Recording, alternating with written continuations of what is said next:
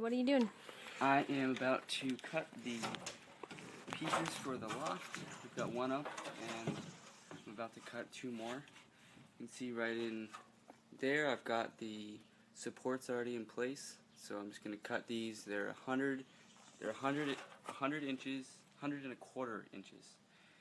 So it just fits right across and the loft is 6 feet 3 and 1 16th inches tall.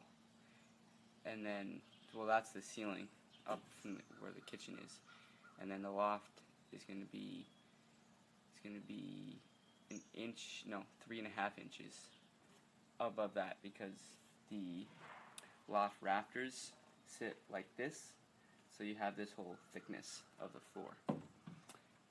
And then that'll make it easy to measure the last part of the plywood that goes way up top and that's as far as we need to get before we need to go to Hudson to return a whole bunch of stuff and to buy like Tyvek and other stuff to help put in the windows and make this look like a house.